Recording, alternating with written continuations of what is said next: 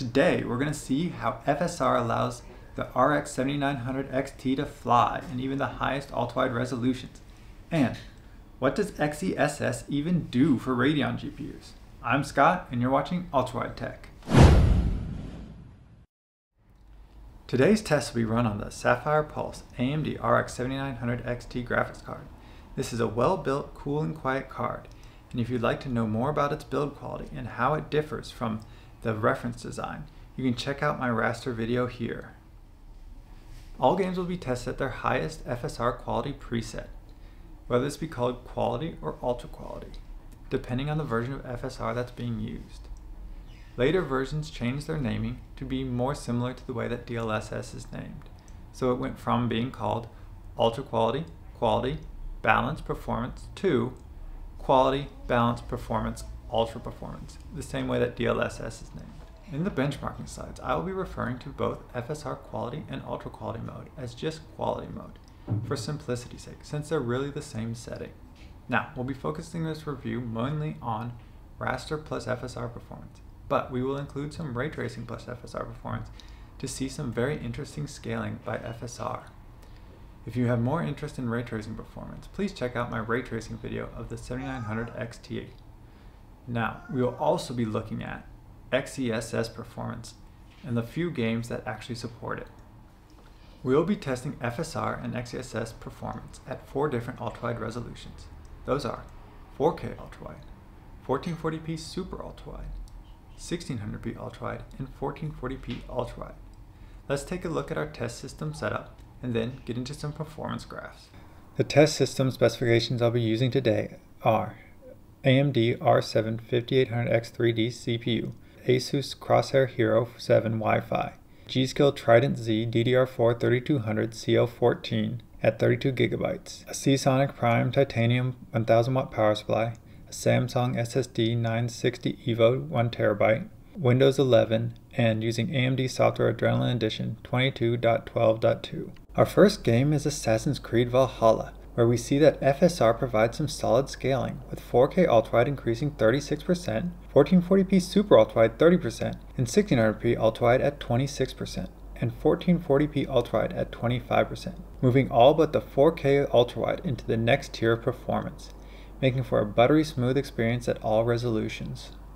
Next up we have Horizon Zero Dawn, which also sees strong scaling with FSR, with 4K ultrawide seeing a 39% performance improvement, 1440p super ultrawide getting 30%. At 1600p we still see the negative performance scaling versus the super ultrawide resolution, despite a 31% performance improvement. And 1440p ultrawide is a solid 27% improvement, pushing every single resolution up into the next performance tier. All in, high refresh rate range or better. Next up, and our first game to also have ray tracing results to examine is Marvel's Guardians of the Galaxy. Again, we see some pretty great scaling with our 4K ultrawide coming in at 42% better performance, 1440p super ultrawide getting 33%, and our 1600p and 1440p ultrawides getting 28 and 27% respectively.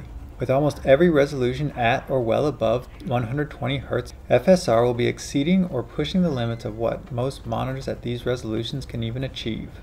When we throw in the ray tracing results for scaling reference, we see even better scaling with 4K ultrawide delivering a 51% performance improvement, 1440p super ultrawide a 44% improvement, and both 1600p and 1440p getting 37% more performance. Despite these impressive gains to performance, ray tracing still is only providing just over half of that of raw raster, and nowhere near the FSR results.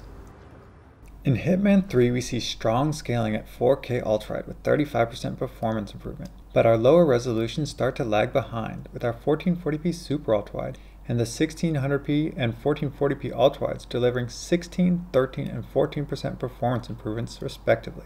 This boost from FSR was able to put our 4K ultrawide and our 1440p super ultrawide in the next performance tier, and has 1600p and 1440p resolutions pushing the limits of what refresh rates on these displays can do. Refresh rates in this game are already so high that I wouldn't automatically tell you to turn on FSR, but at 4K ultrawide it sure is a nice boost even if no display of that resolution can get close to that refresh rate. When we look at the ray tracing results, we see absolutely massive performance gains of 83, 58, 59, and 50% at 4K ultrawide, 1440p super ultrawide, 1600p, and 1440p ultrawide respectively. Despite these pretty insane performance gains, they don't even come close to offsetting the crushing performance loss of turning on ray tracing. Forza Horizon 5 is the first game where FSR performance truly disappoints. Though it's not surprising, since this game running extreme settings barely improves framerate from actually using lower resolutions, so simulated resolution lowering with some overhead was never going to impress. Here we see a measly 3% improvement at 4K ultrawide and negative performance scaling at our three lower resolutions of roughly 7%. When we turn on ray tracing, our scaling improves slightly, keeping everything above zero, with 4K ultrawide delivering 5% and 1440p super ultrawide and 1600p ultrawide flat at 0% scaling, with 1440p ultrawide gaining one whole percentage point. If you actually want to improve performance in this game while keeping stellar visuals, use the high preset and turn ray tracing to extreme, and you'll get 100 FPS at 4K ultrawide, beating out even the 1440p refresh rate at extreme preset with no in-world ray tracing by 19%. The last game in our FSR group, we see the brutally demanding Cyberpunk 2077. Again, we see gameplay deploying raster rendering techniques that don't scale that well with resolution, providing a fairly disappointing 11% improvement at both 4K ultrawide and 1440p super ultrawide. I would still take it in this game, as your frame rate starts low enough that you need all the extra help you can get 1600p and 1440p ultrawide puts in even more disappointing performance at 6%. Here I think I would keep the extra sharpness of native resolution, as the few extra FPS here I don't think would meaningfully improve your experience. When we turn on the crazy number of ray tracing features this game offers, the story does a 180, and we now see the best scaling yet, with 4K ultrawide delivering an insane 99% performance improvement, and our other lower resolution providing slightly less insane but still amazing 85%, 80%, and 76% improvements for 1440p super ultrawide, 600p, and 1440p ultrawide respectively. Even with these crazy increases, ray tracing performance is too low on all but 1440p. Consider playing with it all turned on. When we average everything out, even with our poor performers like Forza and Cyberpunk included, we still see a tidy return from FSR. We see 4K ultrawide gaining 28% more performance. 1440p Super Ultrawide gets a 19% return, 1600p Ultrawide gets an extra 16% performance, and finally, 1440p ultrawide sees a 15% improvement across all games. Even though we see lower scaling at lower resolutions, the frame rate return is pretty consistent with nearly 20 FPS across all resolutions. I don't know many gamers that would turn down an extra 20 FPS. When we compare raster versus ray tracing scaling, across the board we see ray tracing FSR results scaling much better and much more consistently at lower resolutions when ray tracing is turned on. This tells me that FSR and DLSS are positioned well to become key factors in performance when we move into an era of every game including ray tracing, and every pixel incurring the cost of multiple rays. I also tested 4K ultrawide at all performance levels offered by FSR. Here we can see that pretty much all games have very consistent FPS scaling, with each additional level of FSR. So if you got 10 FPS from turning on quality mode, you'll get another 10 for stepping down to balanced, and so on and so forth. The only exception is Cyberpunk 2077, where we see what appears to be a specially tweaked version of the Ultra Performance mode, which I would reclassify as a dear god, just please let this game run on my PC mode. And finally, let's see what Intel has been up to. Oh, that's unfortunate. Negative scaling across the board in Shadows of the Tomb Raider? Ah, but what about Hitman 3? Oh, just as bad? Hmm. Well, maybe some of the more performant modes will work. Well, let's look. The performance mode provides a 29% improvement. That's good, right? What? It's 6% lower than quality mode on FSR? Well, I suppose everyone should just avoid XeSS unless you're on an Intel card.